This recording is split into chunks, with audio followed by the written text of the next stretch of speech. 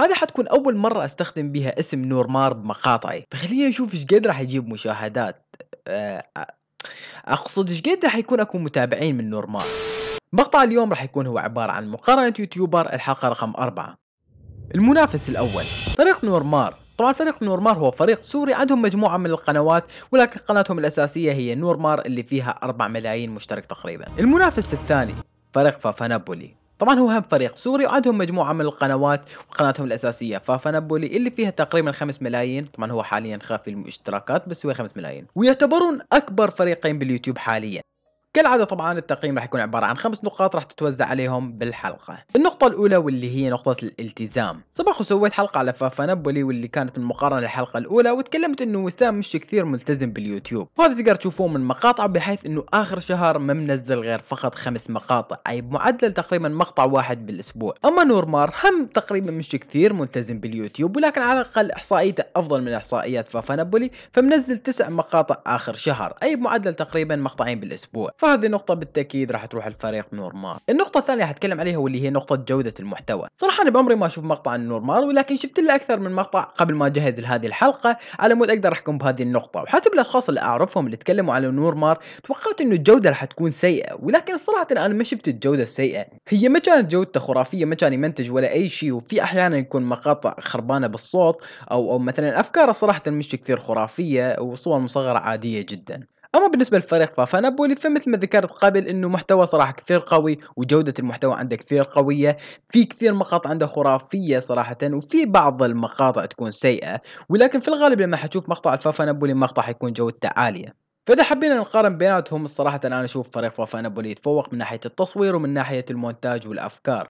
فهذه نقطة 100% حتروح لفريق فافانابولي النقطة الثالثة واللي هي نقطة الشخصية، بهذه النقطة حيكون منافسة ما بين وسام وما بين نورمار لأنه ما راح أقدر أحط كل أعضاء الفريق، فخلينا نبدي، نبدأ بنورمار، نورمار صراحة مشكلته واللي تخليني ما أتابعه واللي هو إنه أحس شخصيته موجهة للبنات أكثر، إنه يجذبهم أكثر من عندي، صراحة أنا أحس إنه شخصيته مش كثير رهيبة، يعني لو كان مثلا جماله أقل فأحس إنه ما راح يكون عنده كثير متابعين، مقارنة بوسام اللي من أول ما طلع باليوتيوب كانت شخصيته صراحة عفوية وكثير خرافية من ناحية يعني تضحك ومن هالكلام، فهذا الشيء صراحة خلى الجمهور يتعلق بوسام من أول ما طلع آه، مش لما مثلا بدأ يطلع بنات وياه أو من هالكلام يعني. وصراحة أنا أحس شخصية وسام كثير صعب ان واحد يتغلب عليها فأكيد راح تروح هذه النقطة لوسام النقطة اللي بعدها واللي هي حب المتابعين. أكيد المتابعين يحبوهم اثنيناتهم بس كالعادة ما راح أقدر أحكم بهذه النقطة إلا أنتم تحكموا لي بالكومنتات. خلينا نشوف منو يعني أكثر حيكون متابعين أو منو يحبون أكثر جمهور يحبون فريق نورمار أو يحبون فريق فافانبولي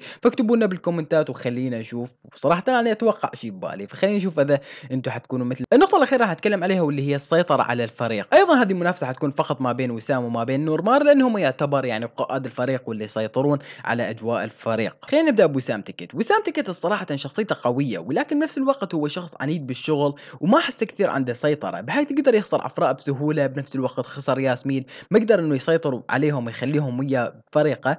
فصراحة أنا أحس إنه وسام كقيادة آه، شخصيته قوية ولكن بنفس الوقت كسيطرة على الفريق أحس إنه ما عنده سيطرة على الفريق. عكس نورمار صحيح أشوف شخصية نورمار مش كثير قوية أو جدية مثل وسام تكت ولكن بنفس الوقت تحس إنه عنده سيطرة على الفريق. آه، بنفس الوقت خلي الفريق كله يعني قلب واحد. نادر ما صراحة أسمع إنه مثلا صارت مشكلة بين فريق نورمار يعني. فهذه النقطة أكيد راح تروح الفريق نورمار وبهذه الحالة حتكون تعادل تبقى هذه النقطة الأخيرة حتحكمون بها بالكومنتات. خلينا نروح حاليا الفقرة الأخيرة واللي هي فقرة آراء المتابعين، طبعا حسيت إنه هذه الفقرة ممكن تكون شوية مملة فحبيت إني أضيف gameplay يعني نعرض لكم إحنا دا نقرأ التعليقات عم أقدر آخذ راحتي أنا دا أقرأ التعليق همين يعني.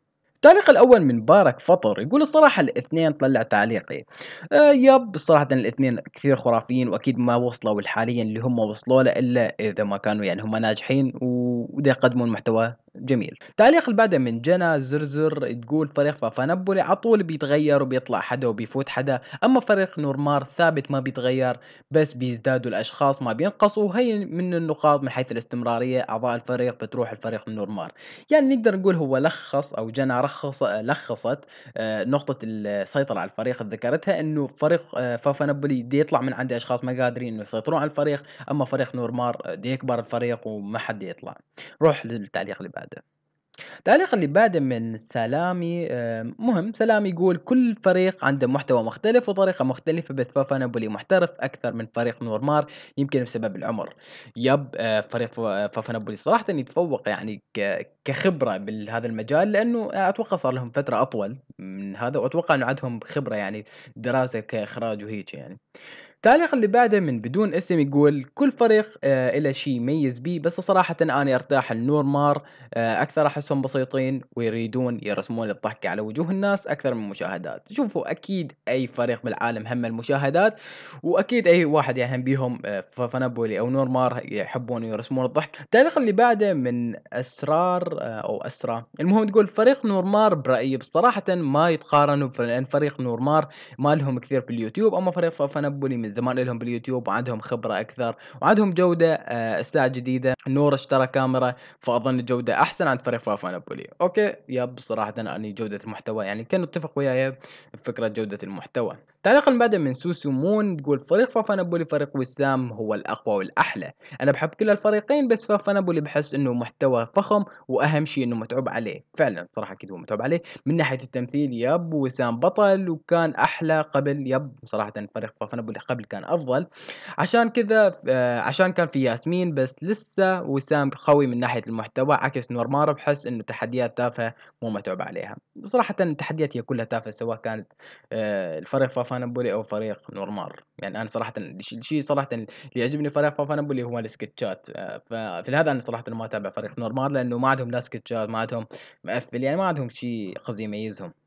التعليق اللي بعده من نوفمبري المهم يقول فافا نابولي أكيد أفضل على الأقل فيهم شباب وتنوع مو مثل فريق نورمار كلهم بنات أعصابكم يا جلادين. صراحة أنا خايف صراحة من ردة فعل الجلادين على هذا المقطع. ولا هم تعادلوا يعني عادي. المهم آه yep صراحة فريق آه فافا نابولي منوع. ولكن حتى نورمار أتوقع منوع. مو كلهم بنات حسب ما اني لاحظت بس ما أدري يمكن البنات أكثر. على كل هنا وصلنا لنهاية المقطع. أتمنى الحلقة عجبتكم. لا تحطون like وتشتركوا بالقناة. وقولوا لي إذا عجبتكم فكرة إنه نحط gameplay بالنهاية. وبس والله مع السلامة.